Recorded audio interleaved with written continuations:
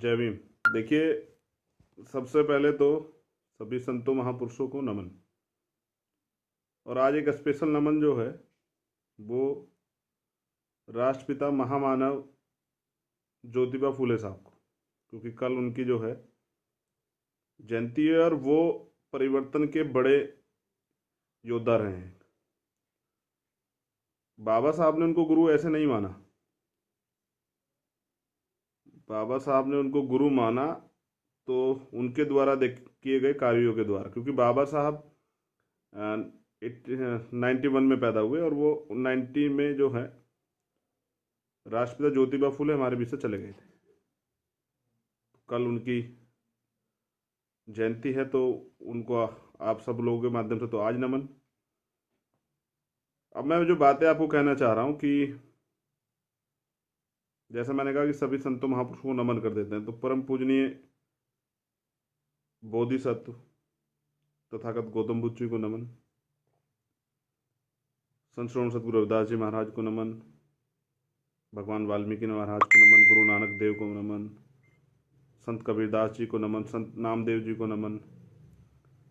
और जैसे बहुजन समाज के जो समाज सुधारक रहे हैं, बड़े, पेरियार साहब हों या राष्ट्रपिता ज्योतिबा फुले हों, संत गाड़गे जी महाराज हों, गुरु नानक स्वामी हों, बाबा साहब अंबेडकर हों, या फिर हमारे रहबर आदर्श मान्यवर साहब काशीराम तो मैं दोबारा से दोहरा दूँ, कल आपको राष्ट्रपिता ज्योतिबा फूले के जन्म दिवस पर उनकी जो किताब है, उसको तो पढ़े ही पढ़े, लेकिन उनके जीवन के का जो सारांश है, उनका जो जीवन है, उसको एक, उनके जीवन पे चर्चा करें, उसको एक बार पढ़े ज़रूर, आपको बहुत कुछ सीखने को मिलेगा। लॉकडाउन के समय का सही सदुपयोग यही है कि आप ज़्यादा से ज़्यादा अध्ययन करें, जो मिशनरी लोग हैं। मैं एक बात अपने विषय में भी कहूँगा आज आप लोगों से। मुझसे हमारे साथी ज़रूर पूछते हैं सभी लोग कि भैया आप इतनी एनर्जी कहाँ से लाते हो? तो जब आदमी किसी आंदोलन से आंदोलित हो जाता है, जनून अपने अंदर पैदा कर लेता है तो फिर उसे किसी भी तरह की जो है, भूख, प्यास और वो सब चीज़ें दिखाई नहीं देती, रुकना दिखाई नहीं देता। स्वाभिमानी बनना, स्वाभिमानी खुद को कहना बड़ा आसान है, लेकिन स्वाभिमानी बनना बड़ा कठिन है। जिस रास्ते पे आप चले लंबे समय तक बिना समझौते के रास्ते पे चलना बड़ा एक तीखी लाइन है, एक अलग तरह की लाइन है। तो ये नौजवान तो समझ गए, नौजवानों को तो तैयार कर दिया है हमने कि वो तो स्वाभिमान कीमत समझने लगे वो तो संघर्ष कर रहे हैं, वो तो समझौता नहीं करते एक सीधी बात है, समझौते से दलाल पैदा होते हैं और संघर्ष से लाल पैदा होते हैं। तो हम भीम आर्मी और आज़ाद समाज पार्टी के बैनर पे तो हमने बहुत सारे लाल पैदा कर दिए जो इस देश में आने वाले समय बहुजनों के सम्मान को झुकने नहीं देंगे और अपनी सारी गुलामी से मुक्ति के लिए वो बहुजन राज लाने का प्रयास करेंगे, उस पर मेहनत करेंगे। अब बात मैं करूँ कि बात बहुत जल्दी ख़त्म करूँगा? चौदह अप्रैल की। आपको याद है ना प्रक्रिया? सुबह नहा धोकर बाबा साहब के चित्र पे पुष्पान पुष्प अर्पित करने। उसके बाद दो, तीन, दो घंटे जो है भारतीय संविधान पे, बाबा साहब के जीवन पे, परिवार के साथ बैठ के। जैसे राष्ट्रपिता ज्योतिबा फूले भी माँ सावित्रीबाई फूले के बिना अधूरे हैं। हमारे मूवमेंट में पीछे जाने का कारण ये है कि हमारी मूवमेंट से हमारी बहनें और महिलाएँ बहुत कम संख्या में जुड़ी हुई उनको भी जोड़ना है।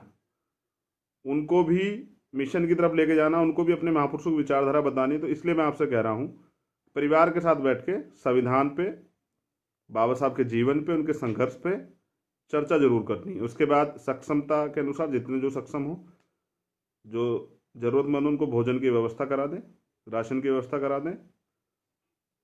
फिर जो क्वेश्चन आंसर दूँगा, मैं कल क्वेश्चन आंसर दे दूँगा पेज पे। आप वहाँ से ले लीजिएगा। सभी लोग सारे प्रदेश अध्यक्ष ले लें, जिला अध्यक्ष ले लें, विधानसभा अध्यक्ष ले लें, मंडल के जो प्रभारी हैं वो ले लें, संभाग के जो प्रभारी वो ले लें और आसानी से अपने ग्रुपों में व्हाट्सएप के माध्यम से पहुँचा दें।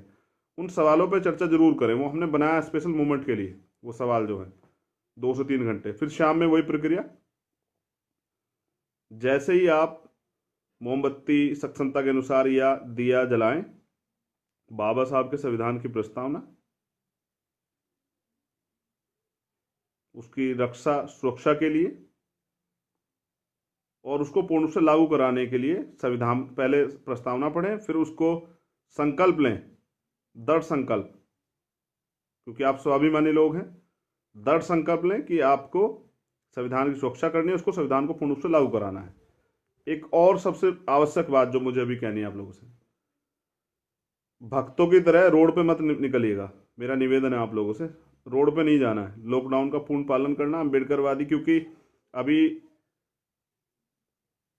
अब इन्होंने पूरा कोरोना वायरस का मामला देखिए, किधर डाइवर्ट कर दिया जमात की तरफ़। ऐसा ना हो ये आपकी तरफ़ डाइवर्ट कर दें, कि देखिए अंबेडकर वादियों ने कर दिया। तो मेरा निवेदन आपसे ये है कि सरकार बचने के बहाने ढूंढ रही तो आपको सड़क पे नहीं आना, अपने घरों में रह के शांतिप्रिय तरीके से, अनोखे ढंग से लॉकडाउन का पालन करते हुए इस बार परम पूजनीय बोधिसत्व बाबा साहब अंबेडकर की जयंती जो है, मनानी है।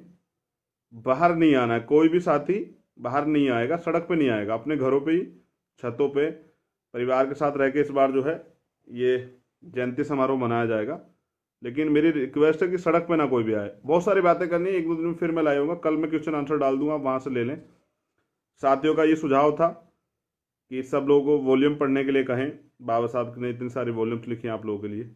एक बात तो आप जान लीजिए, शिक्षा शेरनी का वो दूध है जो पिएगा वो धाड़ेगा ये ऐसा नहीं कहा बाबा साहब ने।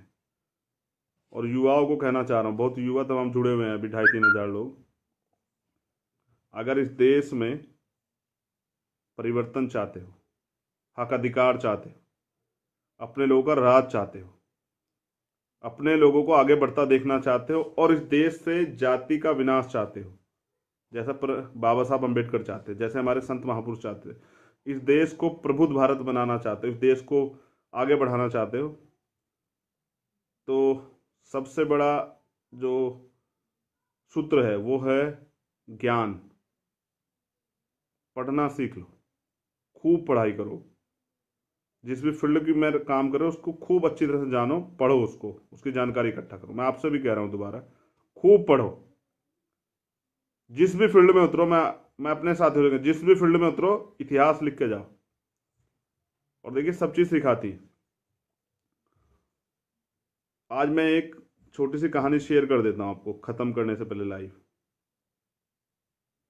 समझ गया ना? बाहर नहीं आना है रोड पे। घरों में रहकर ही ये इस बार मनाना। पहले हम शोभा यात्रा और बहुत सारी चीज़ निकालते थे, इस बार नहीं निकलेगी तो हमें घर पे रह के मनानी मैं कहानी शेयर कर रहा था, वो ये है।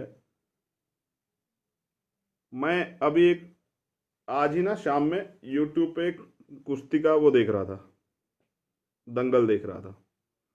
उसमें मैंने देखा दो पहलवान हैं, और हर पहलवान अपनी अपनी तरफ़ से अच्छे अच्छे दाव लगाते हैं, जीतने के लिए। वो उनकी फ़ील्ड है। और उसमें उन्होंने वो मास्टर बने, उसमें उन्होंने काबिलियत हासिल की। और उसके लिए उन्होंने संघर्ष किया। बिना संघर्ष के कुछ नहीं मिलेगा। ये बहुत बड़ा आंदोलन है।